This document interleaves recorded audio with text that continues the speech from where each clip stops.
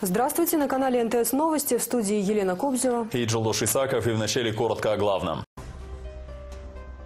Развитие экономики страны невозможно без развития регионов. Соронбай Джейнбеков посетил открытие цементного и молочного заводов в Волжской области.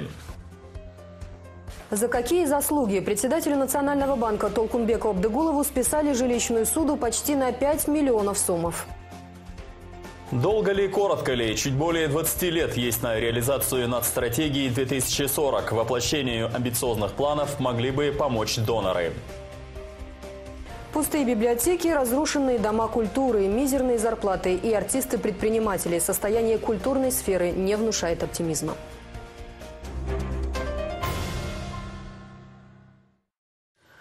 Довольно насыщенно проходит визит главы государства в Волжскую область. Соронбай Джейнбеков вылетел на юг сегодня утром. В течение двух дней президент посетит ряд мероприятий как культурного, так и экономического характера. В их числе торжественное собрание, посвященное теме «Ош в судьбе Айтматова», а также национальные конно-спортивные игры, посвященные 90-летию всемирно известного писателя.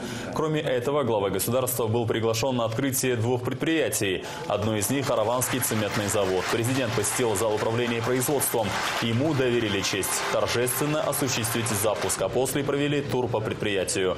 В заключении глава государства выступил перед работниками и гостями, пожелав заводу стать одним из крупнейших предприятий промышленной сферы страны.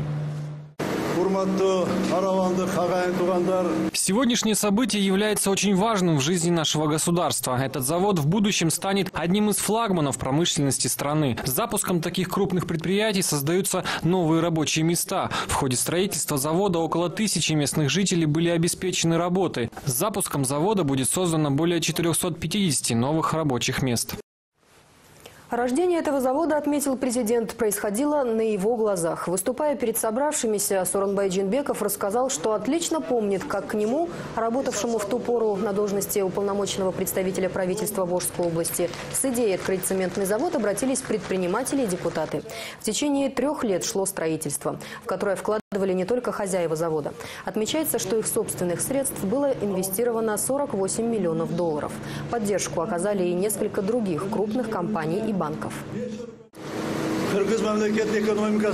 На строительство завода в общем было потрачено 86 миллионов долларов. Это строительство можно назвать интернациональным, а предприятие – заводом дружбы, партнерства и доверия друг другу, так как в реализации проекта участвовали пять стран – банки и предприниматели Китая, России, Турции, Голландии и Кыргызстана. Открытие такого крупного производства стало лучшим подарком в рамках Года регионов, подчеркнул Сорунбай Джейнбеков и добавил, что это отличное начало для развития производственного сектора на юге страны. По словам президента, главной задачей государства сегодня и впредь будет защита бизнеса от незаконных проверок и платежей, а также создание для него максимально удобных условий для деятельности. Однако при этом работа заводов не должна наносить вред окружающей среде, уничтожая экологию. Наша цель – защита инвесторов и собственности от судебного произвола. В скором времени в государственных органах начнет работу Институт бизнес-омбудсмена в целях защиты прав предпринимателей. Денежные ресурсы крупных финансовых институтов страны направлены на стимулирование проектов в регионах. Кроме этого, на сегодняшний день упрощена процедура регистрации предпринимателей. Она теперь составляет не более трех дней. В регионе создан самый либеральный налоговый режим с пониженными налоговыми ставками, а новые предприятия освобождены от проверок фискальных органов органов сроком на три года. Ну а второй объект, за работой которого сегодня также наблюдал глава государства, это завод по переработке молока ОСО «Алайку Органикс». Предприятие расположено в городе Аше. Ранее оно специализировалось только на традиционных национальных кыргызских напитках из молочных продуктов. Однако в сотрудничестве и при поддержке международных партнеров компания смогла расшириться и начать изготавливать йогурты, сметану, масло и сыр. Этот проект, отметили руководители завода, поспособствует улучшению благосостояния животноводов из 10 сел Карасу Суйского района. Кроме этого, предприятие увеличило количество рабочих мест, что, по мнению главы государства, особенно важно для жителей регионов республики. К тому же расширение молокозавода должно позволить увеличить объемы экспорта продукции в другие страны. В этой связи обещал президент бизнесменам, открывающим дело в регионах и добросовестно отчисляющим налоги в бюджет, государство будет оказывать всяческую поддержку и почет. У нас должна быть такая политика, чтобы самыми уважаемыми людьми были предприниматели, которые открывают предприятия, создают рабочие места и платят им зарплату, отчисляют налоги государству. мемлекетке салық төлеген ошондой адамдар эң сыйлуу болуш керек да бизде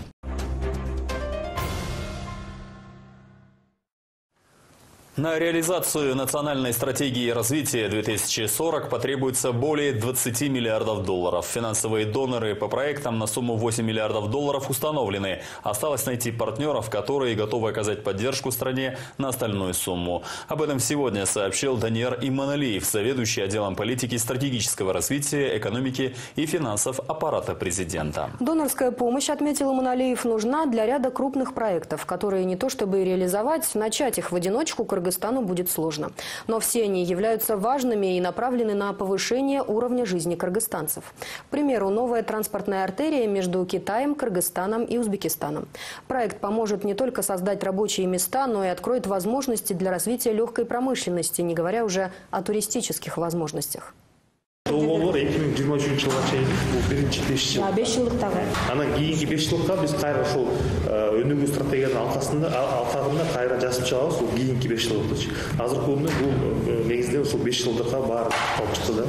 Сделать фокус на развитии человеческого потенциала – это главная и, пожалуй, самая емкая характеристика, которую можно применить к национальной стратегии 2040. Состоит документ из четырех разделов – человек, семья, общество, экономическое благополучие и качество среды для развития, государственное управление и управление развитием. Документ получился комплексным, его не раз обсуждали, вносили изменения, дополняли с учетом правительственной программы доверия и единства созидания. Последняя редакция отношений имеют многие, начиная от экспертов и доноров партнеров до бизнеса и граждан, отметил сегодня Данияр Иманалиев, заведующий отделом политики стратегического развития, экономики и финансов аппарата президента. Реализация будет поэтапной, включая четыре пятилетки. Первая рассчитана до 2023 года. Так как первый этап и есть основной, посвящен он будет всецело роли и правам граждан.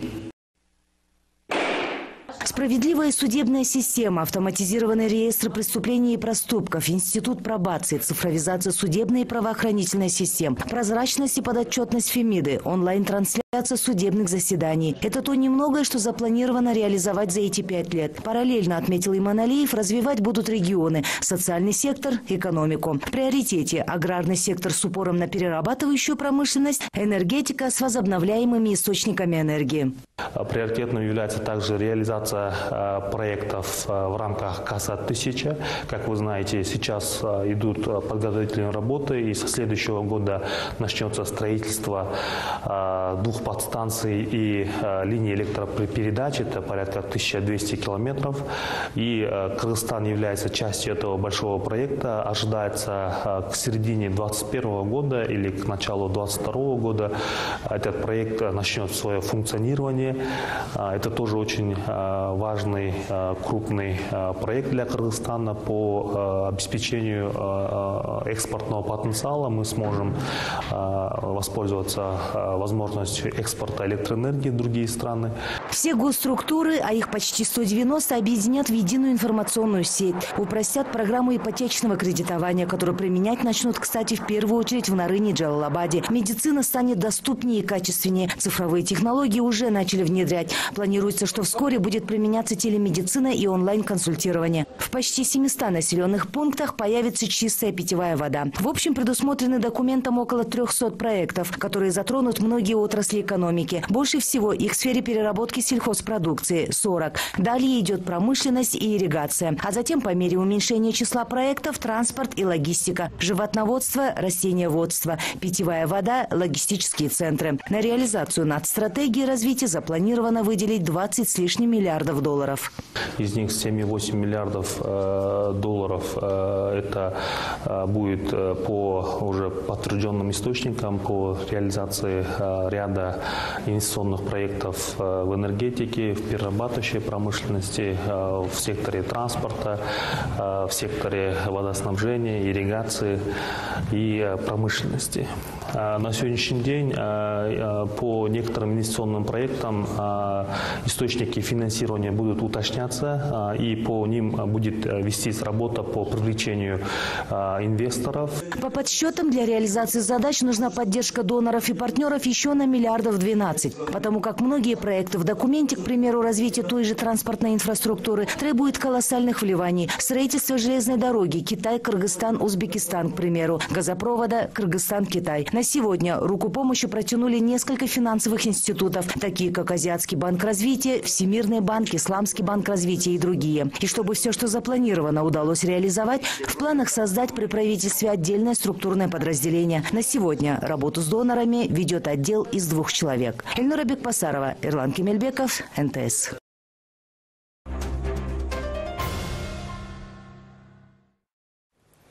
В Джугруку Кенеши просит Генеральную прокуратуру проверить председателя Нацбанка Толкунбека Абдыгулова. Накануне в парламенте озвучили информацию о том, что главный финансовый регулятор списал своему председателю жилищную суду на почти 5 миллионов сомов. В Национальном банке заявляют, что решение о списании средств было принято законно, и это даже подтверждено счетной палатой, которая не выявила нарушения в этом вопросе. Подробности в нашем следующем сюжете. Почти 5 миллионов сомов Национальный банк простил своему председателю Толкомбеку Абдыгулову. Беспроцентную суду председатель главного финансового регулятора брал на покупку жилья. Всего чиновникам было получено 5,5 миллионов. И к моменту его перехода на должность вице-премьера оставалось погасить еще 4 миллиона 824 тысячи сомов. Именно эту сумму своему бывшему председателю исписало правление главного финансового регулятора. Положение об обеспечении жилищных суд, жилищными судами э, сотрудников Национального банка э, регулируется данным положением, которое предусматривает порядок, да, как э, выдачи суд, так и списания. И согласно данному положению, в исключительных случаях правление может принять решение о списании. Есть э, перечень таких вот случаев. Это случаи смерти служащего при исполнении ими служебных обязанностей, э, при получении инвалидности первой и второй группы, э, и также при переходе служащего Национального банка на государственную руководящую государственную службу и наличие десятилетнего стажа в Национальном банке. То есть, э, допустим, э, Толкунбек Саламович получил суду в 2015 году, и после его назначения данное решение было принято только э, в конце октября 2017 года. Объясняться Национальному банку пришлось после вчерашнего заявления депутатов парламента. Законодатель Гульшат Асылбаева усомнилась в законности получения и списания этих средств. Несмотря на то, что счетная палата дала свое положительное заключение на этот счет, народная избранница настаивает на повторном рассмотрении этого вопроса. Правлением Нацбанка игнорируется основной закон, которым они руководствуются. Еще раз хочу повторить, Национальный банк – это не частная лавочка, и полномочия даются для оперативного решения вопросов, касающихся руководства Нацбанком в целом, а не для использования этих полномочий в личных целях. Также хочу спросить, почему руководство Нацбанка с какого разрешения, с чего разрешения наделило само себя такими полномочиями. Я делала запрос в счетную палату. Счетная палата, не вникнув даже вообще в суть этого вопроса, написала, что нарушения она не увидела. Может, она не хотела это увидеть. В связи с этим у меня просьба, Ашербек Майдонович, представителям президента, пожалуйста, направьте мой запрос в Генеральную прокуратуру по проверке данного факта. Также прошу проверить заключение счетной палаты на предмет соответствия тому, что они написали, на предмет, извините, законности э, списания, разобраться по вопросу, принять меры по возврату незаконно списанных в бю денег в бюджет государства. В защиту Абдыгулова выступил бывший председатель Национального банка Улан Сарбанов. По словам экс-главы финансового регулятора, списание суды сотрудникам Нацбанка – вполне нормальная практика. И Абдыгулов не единственный, кому просили беспроцентный займ. Переходя на госслужбу, человек не будет получать такую высокую зарплату, как на посту главы Национального банка. НБКР не может требовать выплаты суды, если жалование больше не позволяет это чиновнику. Тем более не может подталкивать его каким-то противозаконным способом заработка. Поэтому списание в данном случае логично. Всем, кто оказывался в такой же ситуации, как Толкунбек Абдыгулов, списывали. То, что Абдыгулов потом вернулся – другой вопрос. Вопрос законности тут далеко не главный, говорят оппоненты Абдыгулова. В то время, когда в стране тяжелые экономические обстоятельства, а зарплата председателя и так позволяет приобрести жилье, как минимум некорректно списывать такие суммы, говорят экономисты. Другое дело, если бы это были рядовые сотрудники, которые просто не могут погасить кредит. Ну, на самом деле списал не Нацбанк, а списали члены правления Национального банка, правильно? Ну, это Членами правления являются ну, около 7 человек, 5-7 человек. И это руководство Национального банка, да. И именно члены правления принимают решение о списании.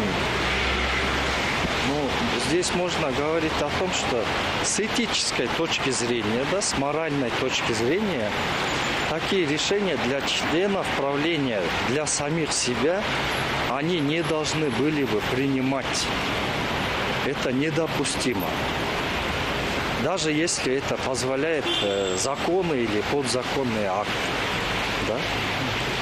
Поэтому другое дело, если бы простые сотрудники Национального банка да, получили и согласно положению они соответствуют а, вот, списанию. Да. В Национальном банке уверяют, что в их учреждении требования в получении и погашении кредитов одинаковые как для председателя, так и для уборщицы. И среди рядовых сотрудников Национального банка немало тех, кому также были списаны кредиты в силу определенных обстоятельств. Правда, сколько таких Нацбанк ответить отказался, ссылаясь на закон о банковской тайне. Известно лишь, что с 2000 по 2018 годы для обеспечения сотрудников жильем выдано 798 миллионов сомов суды. Из них списано почти 32 миллиона сомов.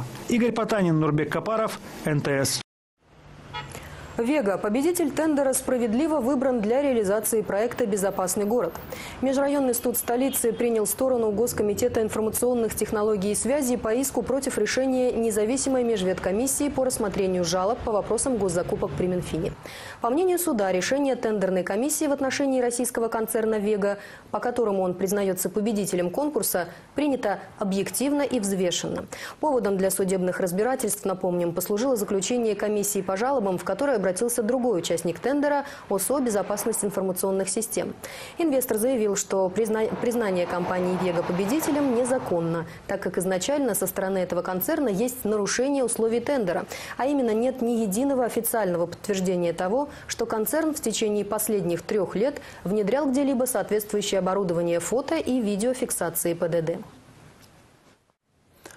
Крупную банду террористов выявили спецслужбы. По их данным, задержанные, а это пять иностранцев и четверо граждан Кыргызстана, были членами так называемой «спящей ячейки международной террористической организации». Как сообщили в ГКНБ, группировка действовала на территории Чуйской области. С прошлого года они вербовали и вовлекали людей в ряды бандформирований для участия в боевых действиях в Сирии и Афганистане. По данным спецслужб, в планах у задержанных было организовать на территории нашей республики несколько диверсионно-подрывных акций с использованием огнестрельных взрывных устройств.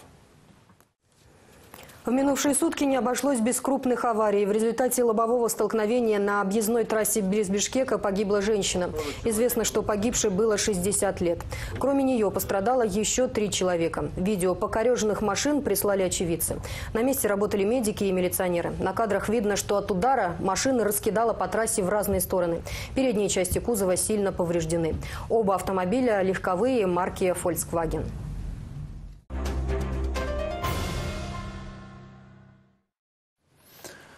Приравнять тружеников тыла к ветеранам войны, внести поправки в соответствующий закон предлагают депутаты Джигурку Кинеша. Народные избранники в своей инициативе отмечают, что заслуги тружеников тыла неоценимы. Они также вели борьбу за победу пусть и не на фронте. Работая днями и ночами на производстве, внесли не меньший вклад в победу Советского Союза над фашистской Германией. Большинство из них подорвали здоровье в те годы, работая в тяжелых условиях труда. И сегодня они особенно нуждаются в социальной защите государства. Фирма иностранная, но работники местные. В ближайшее время заработает норма о том, чтобы хозяева-иностранцы, ведущие бизнес на территории Кыргызстана, принимали на работу преимущественно граждан нашей страны. Так, согласно этому положению, отмечают в Госслужбе миграции, численность местных работников должна быть не менее 80% от общего стата.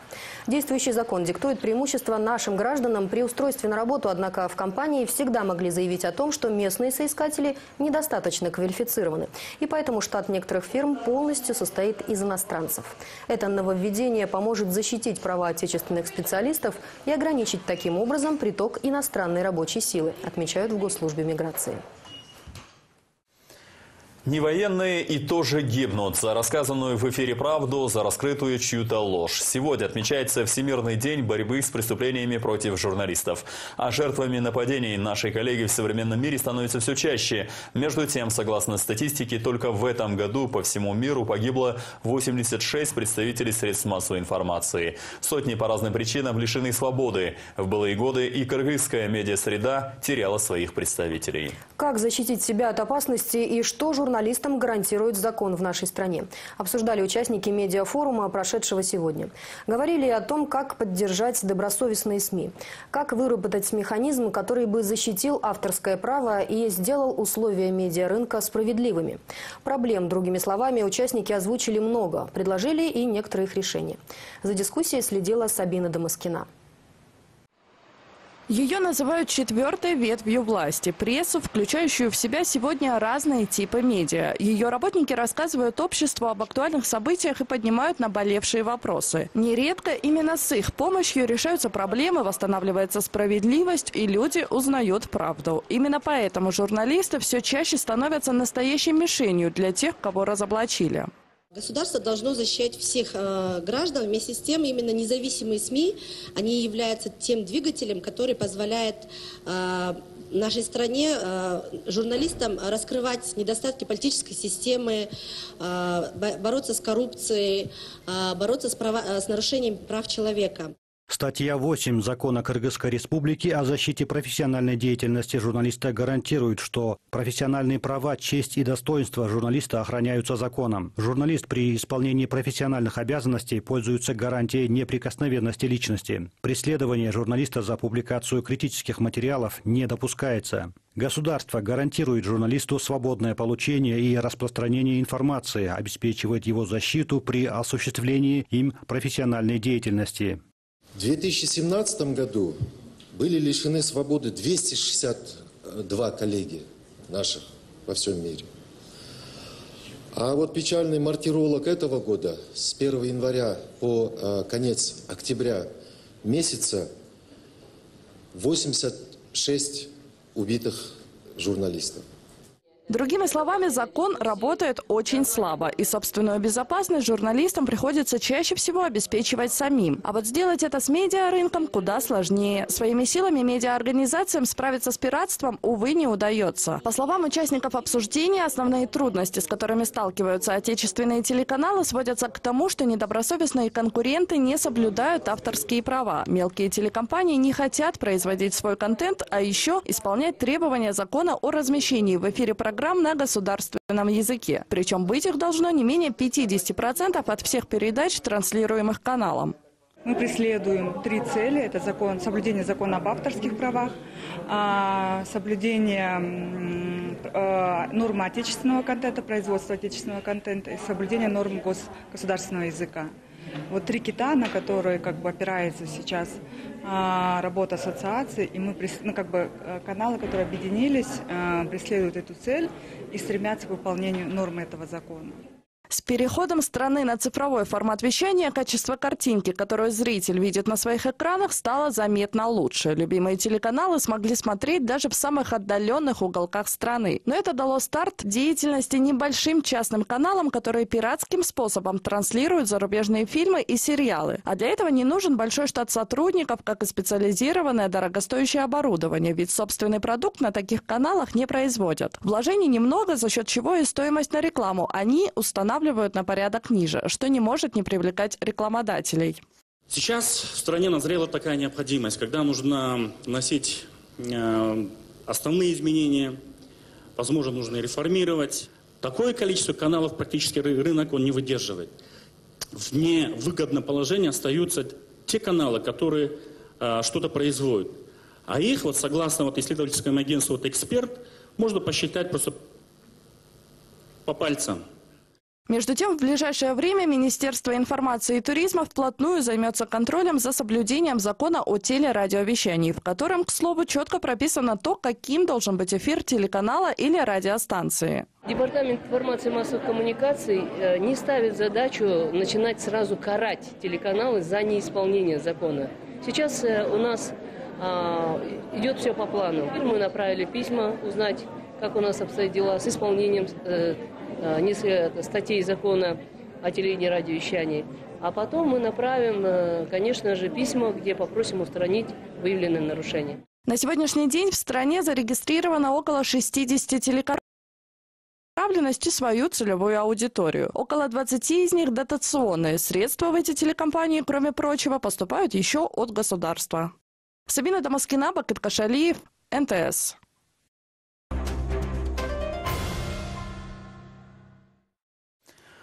Вновь назначенный директор Ожского государственного музыкального училища имени Ниязалы едва успела провести лишь одно рабочее совещание, как была уволена. Как сообщили в пресс-службе Министерства культуры, Самара Каримова, известная эстрадная певица, была назначена руководителем этого учреждения 24 октября. Указ об этом подписывал статс-секретарь ведомства, так как на тот момент в нем еще не был назначен министр. Однако после прихода на эту должность Азамата Джаманкулова он решил отменить решение статс-секретаря, заявив, что оно незаконное.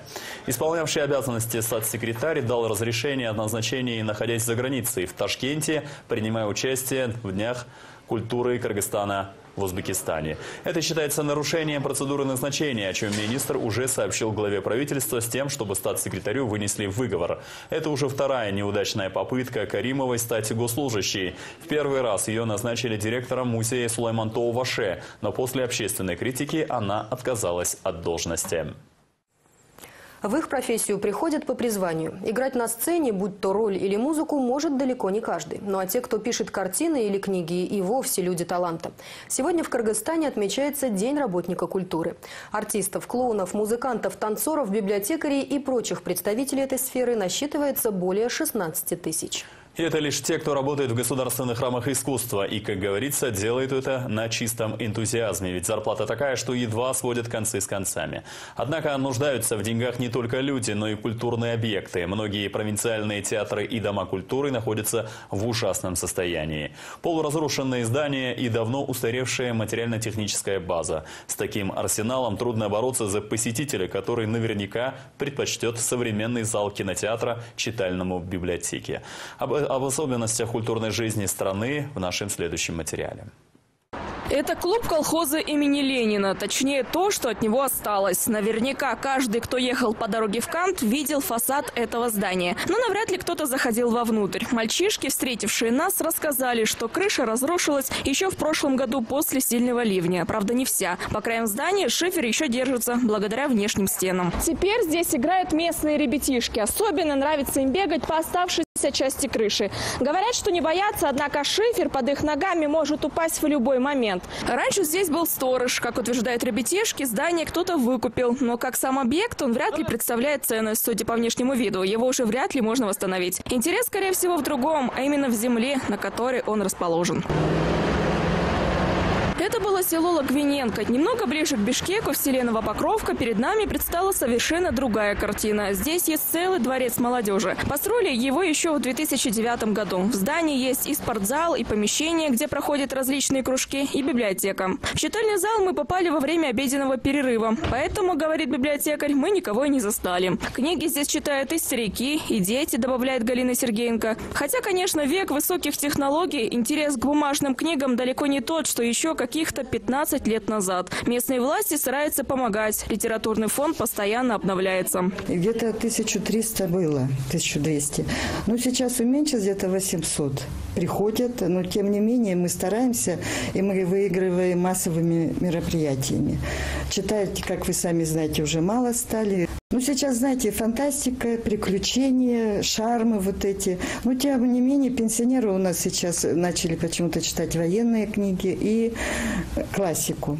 И вот молодежь сейчас, именно молодежь, 16-17 лет, видно, устали от компьютеров и перешли на классику. Галина Сергеенко рассказывает нам о своей работе с большим энтузиазмом. Говорит, что любит саму атмосферу, в которой царит знание. В библиотеке уже 40 лет. У нее два высших образования, а получает она всего 6,5 тысяч. Вместе с надбавкой за стаж. Таких энтузиастов в Кыргызстане немало, говорит директор Национальной библиотеки Джилдыз Бакашева. Библиотекари по стране более двух тысяч, а самих библиотек чуть более тысячи. Пользуясь случаем, хотел бы поздравить своих коллег. Э, библиотекари – это голые энтузиасты. Они, э, несмотря ни на какую зарплату, они всегда с душой работают и очень много делают для продвижения культуры, для сохранения культурного наследия и для духовного состояния личности и детей, особенно детей. И с недавних пор все эти давние многочисленные проблемы в сфере культуры легли на плечи нового молодого министра Азамата Джаманкулова. Но у Азамата Капаровича есть видение, как с этим быть. Он считает, что необходимо привлекать новые таланты, прибегать к услугам умелых менеджеров, способных с помощью маркетинговых инструментов снова привести людей в театры и музеи. Как ни странно, но сегодня граждане – постоянные посетители мечетей и молельных домов других конфессий. К искусству такого интереса, увы, нет. Нам необходима переориентация общества в сторону культуры. Э, мы понимаем, что религия тоже нужна, мы не отказываемся, но мы говорим о том, что развитие самого общества зависит только от культуры. Насколько культура будет развита, настолько и общество будет развито. А Поэтому... какой бюджет э, министерства? Ну, ближе к 2 миллиардам сомов, но 85% всего этого бюджета уходит на заработную плату. Около 10% только уходит на развитие, поэтому это очень, ну, такие малые суммы денег на то, чтобы развивать культуру. Министерство культуры доходов в бюджет не приносит. Подчиненных целая армия. Это не только библиотекари, но и актеры, музыканты, артисты, клоуны. Недавно зарплаты работникам сферы культуры подняли. Надбавка хорошая, целых 80%. Правда, не всем. Только служащим трех национальных театров, трех музеев нескольких училищ. А в Кыргызстане в этой сфере трудится более 16 тысяч человек. Сегодня они празднуют свой профессиональный день, с чем мы их и поздравляем. Анастасия Соболева, Асхат Ибраимов, НТС. И приятная новость в День работников культуры, который отмечается сегодня в нашей республике. Актер Акылбек Абдыкалыков получил приз за лучшую мужскую роль на четвертом международном кинофестивале азиатского кино в Лос-Анджелесе. Сообщается, что эту награду народному артисту Абдыкалыкову вручили за исполнение главной роли старика в художественном фильме режиссера Тимира Берназарова «Ночная авария». По сюжету, напомним, он одинок и сварлив, но все меняется после того, как ему удается спасти пострадавшую в результате ДТП девушку. Ее играет Дина Джейкоб. Каждый год кинофестиваль демонстрирует лучшие фильмы азиатских стран, большинство из которых выдвинуты на кинопремии «Оскар» и «Золотой глобус». Отметим, картина «Ночная авария» получила уже немало наград. К примеру, на Таллинском фестивале ей присудили гран-при.